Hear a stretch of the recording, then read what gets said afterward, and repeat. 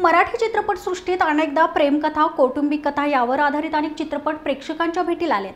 मात्र सध्या परिस्थितीवर भाष्य करणारे प्राणी आणि मानवी जीवन यातील जिव्हाळ्याचे असलेले नाते यावर आधारित असलेला व्हॅनिला स्ट्रॉबेरी अँड चॉकलेट हा चित्रपट सोळा नोव्हेंबरला प्रेक्षकांच्या भेटीला येतोय.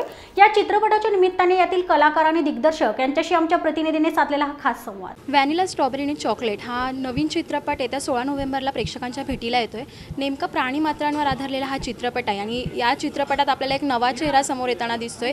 जानकी पाठक या चित्रपटात आपल्याला भेटतात. आणि या चित्रपटामध्ये एका दहावीच्या विद्यार्थिनीची भूमिका त्यांनी साकारली आहे. काय सांगशील? चित्रपटसृष्टी तुझं नवीन पदार्पण आहे आणि नवी भूमिका साकारते आहे. काय सांगशील हा माझा पहिला चित्रपट आहे. आणि त्याचा विषय त्या त्याचा विषय प्राण्यांवर आहे.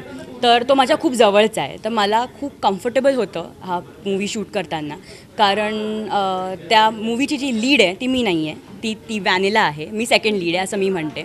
तर तिच्याबरोबर शूट करायला मला इतकं ॲट होम असं मला म्हणायला आवडेल. ॲट होम वाटलं की मी ॲज इफ माझ्या घरच्याच डॉगींबरोबर शूट करते तर मला काही स्ट्रेस नव्हता टेन्शन नव्हतं. मी तिकडे जायचे त्या वॅनिलाशी खेळायचे आणि तसा तो मूवी झाला.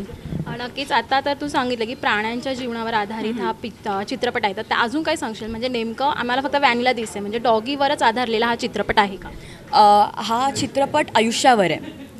अ, एक वॅनिला एक डॉगी जी स बऱ्याच जणांच्या घरांमध्ये डॉगी असतात. त्या डॉगीचं आणि त्या फॅमिलीबरोबरचं नातं. म्हणजे मला ती वॅनिला जीवापाकपेक्षा जास्त आवडत असते. पण माझ्या आईबाबांना त्याचा प्रॉब्लेम असतो. तर ती कसं त्या वॅनिलाला घरी आणते? कसं मूवीच्या एंडमध्ये त्या आईबाबांना ती वॅनिला एवढी आवडायला लागते की ते म्हणतात की ही आमची वॅनिला आहे. तर ह्याच्याबद्दल हा चित्रपट आहे.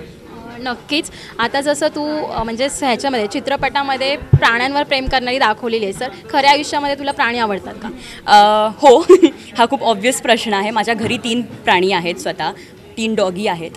आणि मी माझ्या जन्माच्या आधीपासून माझ्या घरी एक डॉगी होती. तर मी तिच्याबरोबरच वाढले आहे.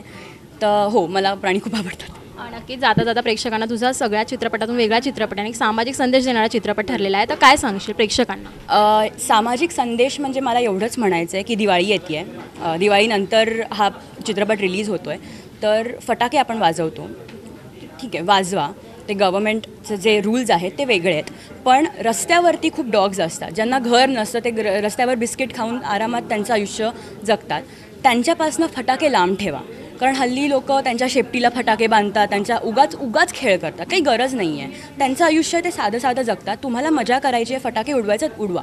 पण त्या बिचाऱ्या मुक्या प्राण्यांना त्याच्यापासून लांब ठेवा. एवढंच मला सांगायचं व्हॅनिला स्ट्रॉबेरी आणि चॉकलेट या चित्रपटाच्या निर्माता दिग्दर्शक आपल्यासोबत आहे. सर आपण आपल्या चित्रपटातून प्राण्यांवर आधारित जे आता आपण पाहतोय की कृत्रिमरित्या हल्ले वगैरे होते त्यावर तुम्ही भाष्य करणारा चित्रपट काढला आहे एकंदरीत ही कथांची संकल्पना तुम्हाला कशी सुचते त्याबद्दल काय सांगा संकल्पना म्हटल्या म्हणण्यापेक्षा ही कथा कशी सुचली हे याला एक कारण आहे. कारण माझ्या मुलीच्या शाळेमध्ये खरोखरच तिच्या शाळेच्या आवारामध्ये राहणारी एक व्हॅनिला होती.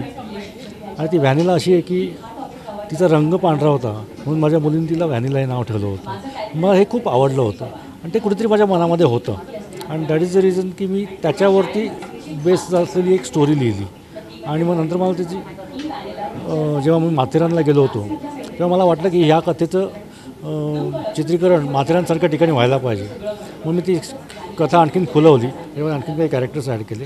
आणि मग ते फायनली माथेरानमध्ये जाऊन त्याचं शूटिंग करून हा चित्रपट तयार झाला. नक्कीच आता तुम्ही सांगितलं की म्हणजे ही जी स्टोरी आहे ही जी कथा आहे ती तुमच्यासोबत पहिली घडलेली आहे म्हणजे खऱ्या लाईफमध्ये तर त्यावर आधारित पिक्चर काढावा असं का सुचलं? नेमकं कारण काय त्यामागे? कारण असं आहे की माझं पूर्ण कुटुंबच हे प्राणीप्रेमी आहे.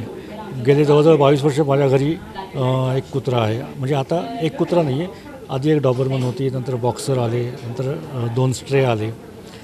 तर प्राणीप्रेमीच कुटुंब आहे आमचं. त्यामुळे त्या विषयावरती मला चित्रपट करायचा होता. आणि त्याचा मला दोन ते मला तीन विषय आवडतात. पहिली गोष्ट म्हणजे प्राणी क्रिकेट आणि सिनेमा. तर या तीन सिनेमा तीन गोष्टींपैकी माझा प्राणी हा विषय पहिला झाला. त्याच्यावरती माझा चित्रपट तयार झाला. आता बाकीचे दोन विषय पुढे नक्कीच होतील. नक्कीच. आता जर आपण पाहिलं तर समाजामध्ये प्राण्यांबद्दल एवढी आपुलकी राहिलेली नाही. आता जे तुम्ही पाळले जातात ते विशेष कुत्रे पाळले जातात पण जर भटके कुत्रे आपण बघितलं रस्त्यावर ते असतात त्यांना कोणी साधं लक्षही दिलं जात नाही. तर त्याबाबत तुमचं काय मत आहे? कसं आहे ना याच्यामध्ये तुम्ही माणसांचा भावना लक्षात घेतल्या पाहिजेत. कारण लहान मुलांना कसं असतं एक लहान मुलगा समजा ज्याला कळत नाही अशा वयामध्ये रस्त्यावरती एखाद्या कुत्र्याचं पिल्लू दिसलं तर तो मुलगा त्या कुतूहली त्या मुल पिल्लाकडे बघत असतो. तेव्हा त्याची आई म्हणते अरे जाऊ नको तो चावेल.